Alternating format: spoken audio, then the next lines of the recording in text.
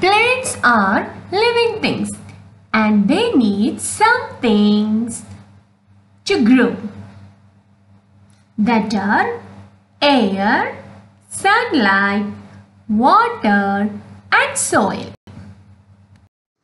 A plant needs sunlight to grow. A plant needs water to grow.